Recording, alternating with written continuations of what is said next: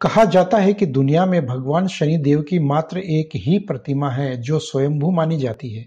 इसके अलावा और कहीं भी ऐसी प्रतिमा नहीं है। और इस प्रतिमा की स्थापना भी आज से करीब 300 साल पहले ही हुई थी।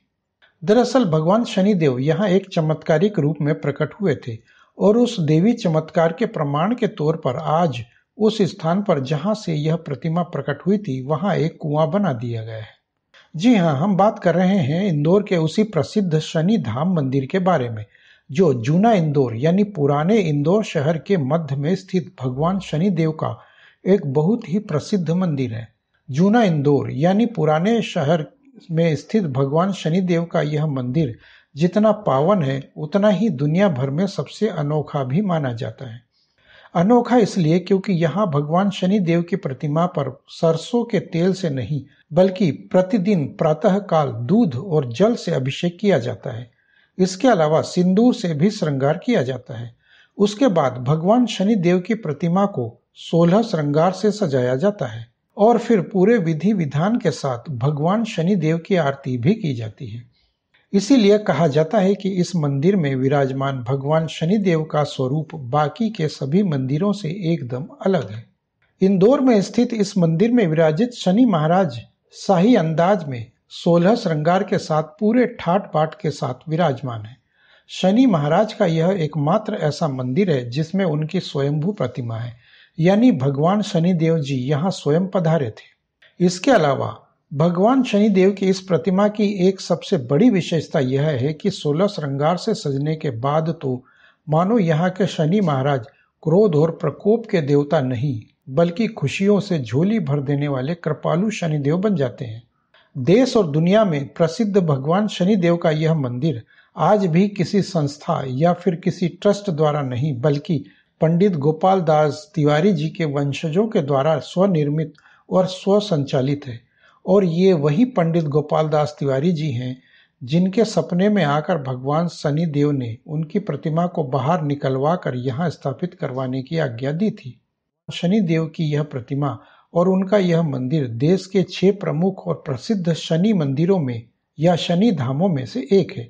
इसलिए उनके दर्शन करने आने वाले श्रद्धालुओं की संख्या यहाँ आम दिनों में भी हज़ारों में होती है। जबकि प्रत्येक शनिवार को यहाँ दर्शन और पूजा अर्चना करने वाले भक्तों में इंदौर के अलावा दूर दराज से भी हज़ारों भक्तगण आते हैं और भगवान शनि का विशेष अनुष्ठान करवाते हैं। मान्यता है कि इस मंदिर में भगवान शनि देव के दर्शनों से ढैया और साढ़े साथी जैसे पीड़ित लोगों को फ़ायदा होता है और उनके जीवन की सारी समस्याएँ भी धीरे धीरे अपने आप ही दूर हो जाती हैं। देवी अहिल्याबाई की नगरी कहे जाने वाले इंदौर शहर में स्थित भगवान शनि देव का यह चमत्कारिक मंदिर, जूनी इंदौर, यानी ओल्ड इंदौर शहर में स्थित है। वर्तमान में यह मंदिर कोई बहुत बड़े आकार वाला तो नहीं है, लेकिन मराठा शैली में निर्मित यह एक नक्काशीदार और आकर्षक मंदिर है।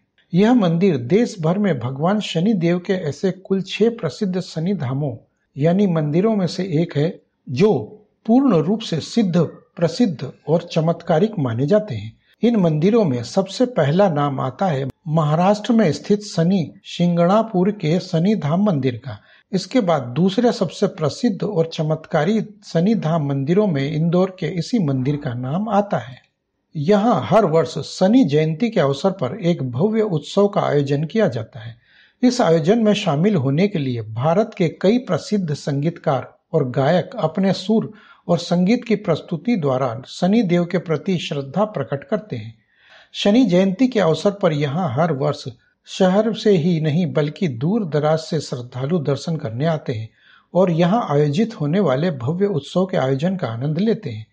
जबकि भगवान शनि देव के अन्य चार प्रसिद्ध मंदिरों में, मध्य प्रदेश में ग्वालियर शहर के नज़दीक गाँव एंती में स्थित शनिचरा मंदिर उत्तर प्रदेश के प्रतापगढ़ में स्थित शनि धाम मंदिर, दिल्ली के महरौली में स्थित शनि तीर्थ क्षेत्र और फिर तमिलनाडु के तिरुनल्लर में स्थित नवग्रह मंदिरों में से एक शनि मंदिर का नाम आता है। तो अगर आपका आना जाना भी इंदौर शहर से होता है तो आप भी यहाँ ऑटो रिक्शा की सवारी करके बहुत आसानी से दर्शन करने जा सकते हैं। क्योंकि भगवान शनि देव का यह मंदिर इंदौर के रेलवे स्टेशन से मात्र डेढ़ किलोमीटर की दूरी पर ही स्थित है। जबकि इंदौर के बस अड्डे से इसकी दूरी करीब चार किलोमीटर और एयरपोर्ट से इसकी दूरी लगभग नौ किलोमीटर है।